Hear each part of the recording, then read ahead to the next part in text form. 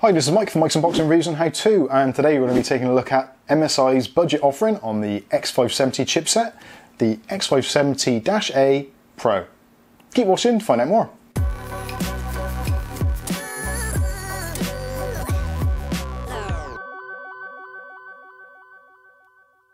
So today we're going to be taking a look at the budget end of the X570 range. Now at the moment, this particular model, the MSI X570-A Pro, is the cheapest X570 motherboard you can buy on the market, at least in the UK anyway. I will put affiliate links in the description below so you can check out local pricing, but I'm pretty sure wherever you look, this one is going to be pretty much at the bottom end of the market.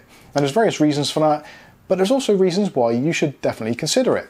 Now, as you know, on Mike's Unboxing, we do like to favour the budget orientated builds, and this comes in at a perfect price.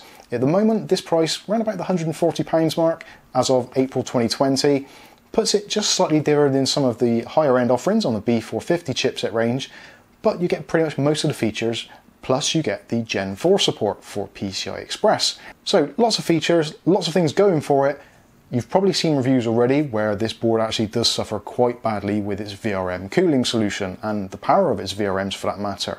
But rest assured, unless you're going to be overclocking on liquid nitrogen or just trying to push crazy clocks on your 3950X, this board is going to be absolutely fine for pretty much all setups. Ideally, I would suggest obviously it is a relatively low end board for the particular chipset, so the kind of perfect sweet spot is like your Ryzen 5 3600 and thereabouts which this board makes a lot of sense for. So let's take a look at the packaging and then we'll go through the unboxing process and then we'll give you a tour of the board and then my final thoughts at the end of the video. Okay, so to start with, very plain packaging, uh, pretty much the usual MSI deal. Says what it is, X570-A Pro. It's got support for AMD Ryzen processors. It also supports obviously the latest 3000 series, which this chipset was designed for. As it says on the box, it supports PCI Express Gen 4.0 and has AMD Store MI technology built in. Moving around to the side of the box, it goes into a little bit of detail of the supported or unsupported processors. So this doesn't support the A-series Athlon processors, neither does it support the Athlons with Radeon Vega graphics. But for all the other ones, like, like the 3000G, that kind of thing, 3200s, no problem at all. So if you're using either a second or third gen Ryzen, even first gen Ryzens are absolutely fine.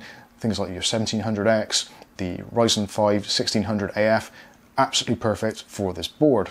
Moving around onto the back, it goes into some detail about the individual specifications. So again, one of the highlights of the chipset is the Gen 4 PCI Express and the M.2s. You've also got optimized for multi-GPU, so if you're using Crossfire, which I Probably doubt you are, but potentially you could use that if you wanted to. It's got Audio Boost 4, and this has the Realtek ALC 1220 chipset, which is a slightly uprated chipset from what we're used to seeing on some of these budget boards, so really good sound solution. This also supports DDR4 boost, so it does take it a little bit higher than the rated specifications for DDR4, so you can get up to 4400 megahertz on overclocks. So with all the uh, really inexpensive high megahertz RAM on the market at the moment, you can certainly take advantage of that. But if you're on a lower budget and you've maybe got some old DDR2133 lying around, you can still use it on here without any issues. It goes down to say more about Core Boost, which is a little bit of a mute point because of the precision boost overclocking and also the situation with the VRMs. Potentially it's not quite as good as they're making out on the box, but still perfectly functional. Just overclocking is something we really do need to be considerate of. One nice feature which actually does stand out above the crowd is for the heatsink for the chipset. Now the chipset heatsink actually does have a fan on it, which is the Frozr design, and actually supports zero fan as well. So if the fan doesn't need to spin because the chipset's nice and cool in your nicely air-cooled chassis, then the fan will actually stop, which is quite a rarity these days as most X570 chipset based boards, the fans spin continually. So that is a nice feature. At the bottom here goes to give you an overview of the I.O., which actually is pretty decent for the spec, but we'll take a closer look at that when we give you a tour of the board.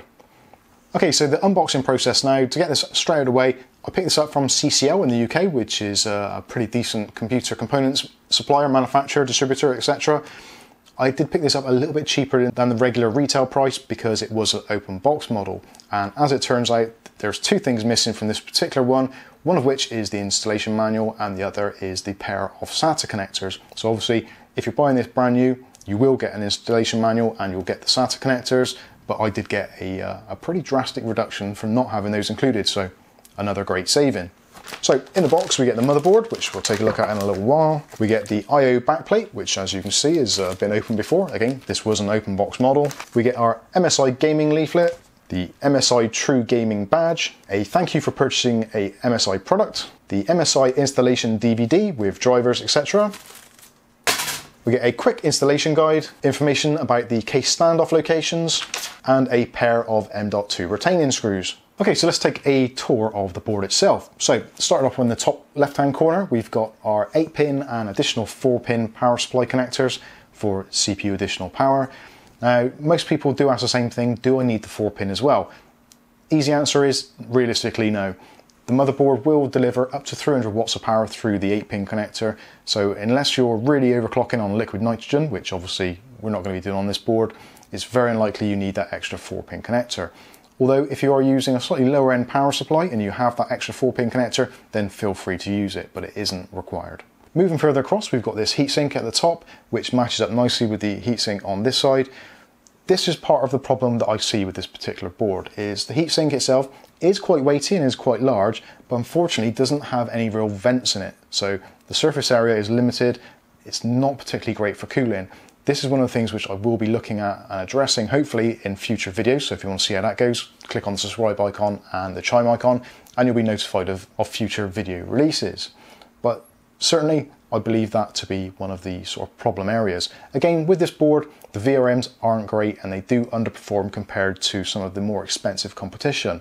But realistically, adding a 120mm fan or having some decent airflow around this area, price of an extra fan is about £10 whereas the next board up with very good VRM quality is about an extra 50 to 60 pounds. So take that into consideration. Moving along at the top here, we've got a CPU fan header, which is a four pin. Now all of the CPU fan headers and also the regular fan headers all support auto sensing. So whether you're using a DC fan or a PWM fan or even a water pump, you can adjust those very easily both in the BIOS and also in the MSI Dragon software.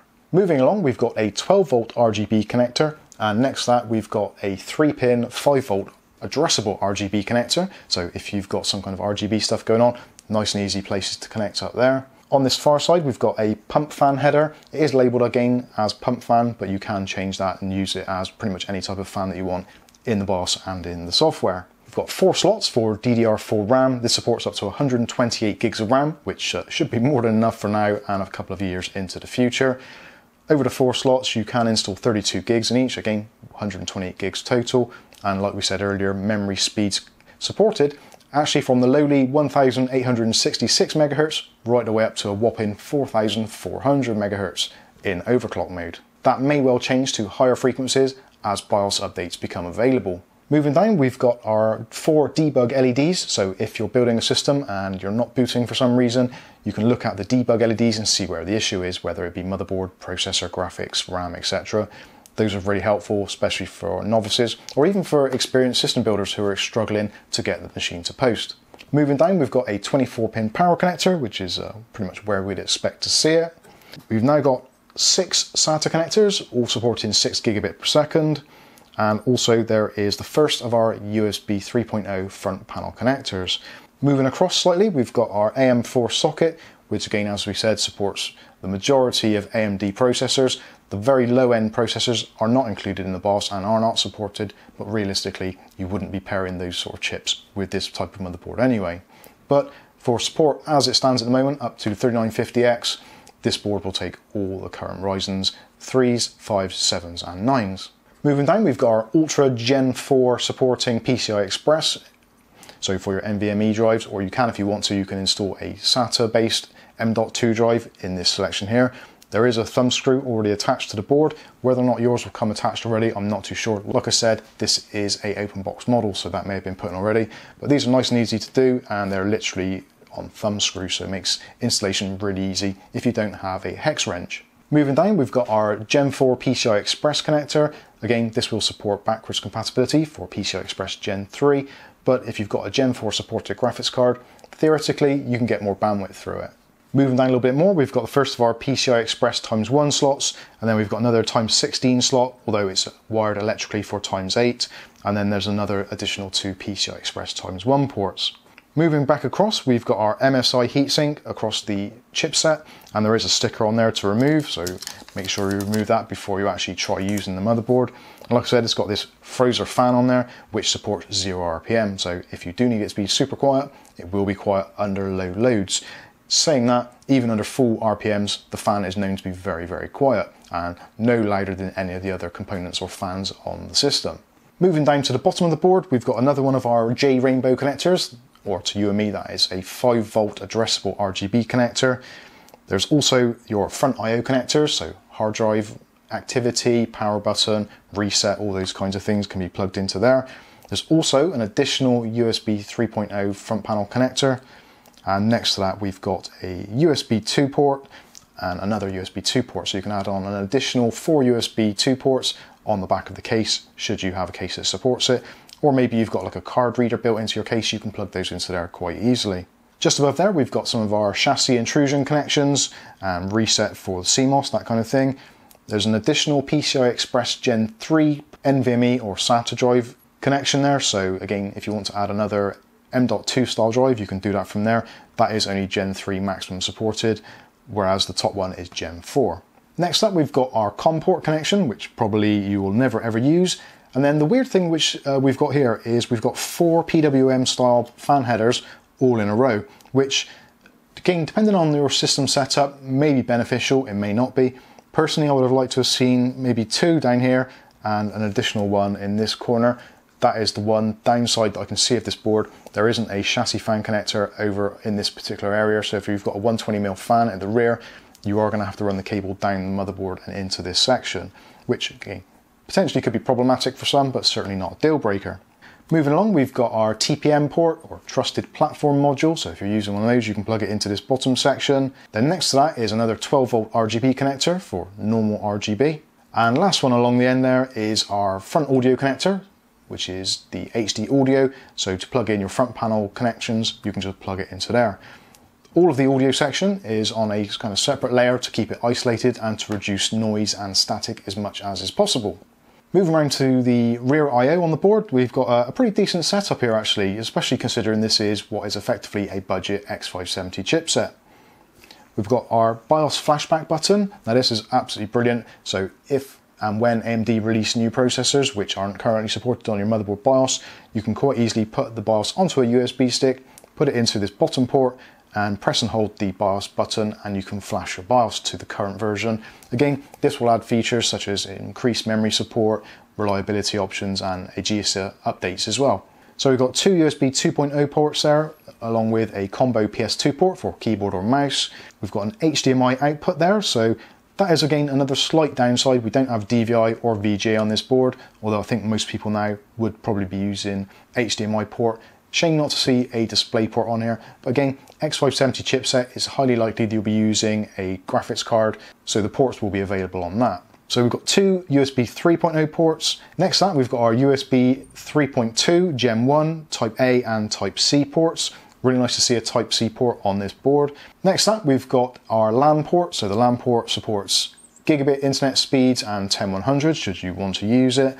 You've also got another pair of USB 3.1 ports Moving down, we've got our audio connections. So we've got five audio ports on the 3.5mm jack, which supports things like your headsets, microphones, all that kind of stuff. It can support up to 7.1 surround systems, and also you've got an optical out as well. So if you want to connect it to a home theater setup, you can do quite easily.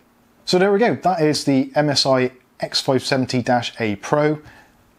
I've got to be honest with you, I'm really impressed with it. For the price, it does offer fantastic value for money. Yes, the VRMs are not the best, and quite easy, they possibly are the worst of the X570 chipsets. But realistically, what are you going to be using on this board? If you're going to be using a Ryzen 5 or even a moderate Ryzen 7, you've got no issues whatsoever. As you get into the realms of the Ryzen 9s, maybe you should be looking at a higher end board, especially if you're considering some hardcore overclocking.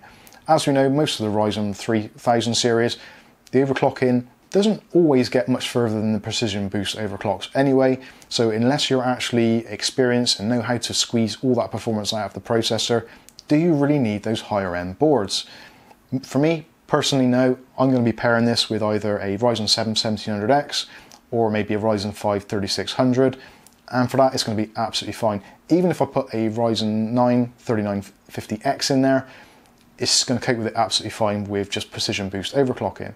Generally, the issue with this in a lot of the reviews is where they've used it on an open test bench with zero airflow, just using the board as is. With additional airflow, this board is going to be absolutely fine. Again, we possibly will be taking a look at the VRM setup to see if we can increase the performance of the actual heat sinks. Although, do you really need to? Is overclocking on a lower end board that important to you? Most people, I think, who will be buying this board are going to be going more for the flexibility of your PCI Express Gen 4, your increased memory speeds, and also the ability to use the latest and greatest Ryzen processors without having to flash the BIOS. So let me know what you think of this board in the comments section below. Personally, I think it's a winner, but we will be installing this into a system soon and doing some further investigation on how it actually performs, and hopefully it does pretty good. So I've been Mike, this is Mike's Unboxing Reviews and How To, and hopefully we'll catch you in the very next video. Thanks for watching.